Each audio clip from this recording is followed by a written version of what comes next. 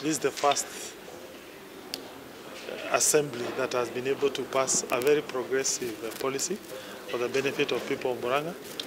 It anchors Kang'ata Care in a policy document. Uh, now also it legitimizes community health volunteers program.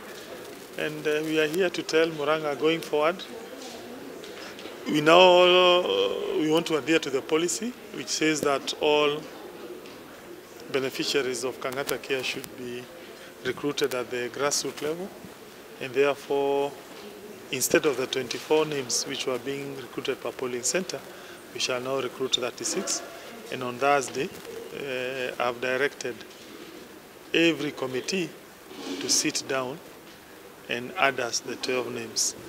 Ours was to receive the document, uh, peruse it through, look at it carefully, and uh, see where whether it is uh, uh, within the law, which we have done, and that's why we are here.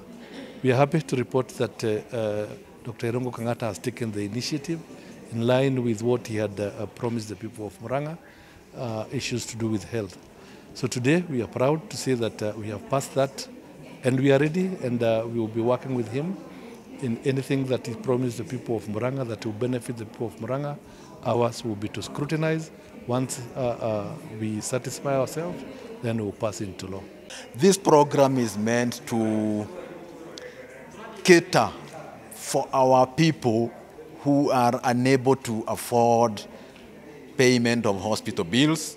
And we are mainly targeting the poor, we are targeting the orphaned, we are targeting the disabled, and we are targeting those people with chronic diseases like high blood pressure and uh, diabetes who require to take treatment for quite a long time. These are the people who have been very, very disadvantaged by hospital bills, and we believe our program today is going to take care of these people.